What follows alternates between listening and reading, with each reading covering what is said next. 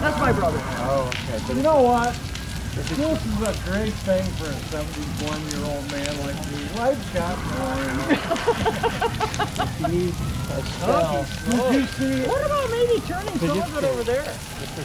Well, that's my hose. See if it's burning. The, the guy borrowed you it might on the have to other get up. side. Mark, Oh, well, man, you might have to get up. you want one? I brought a beer for No, the I cycle. went down the house, Nancy. Huh? Yeah, I know. Yeah, I I'm know.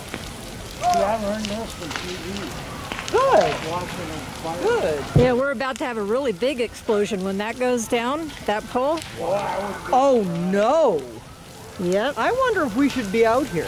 I think you guys should sit on the couch. Don't tell me twice. Let me wipe you down. okay. Let me know if you start on fire. I just want. the fire department.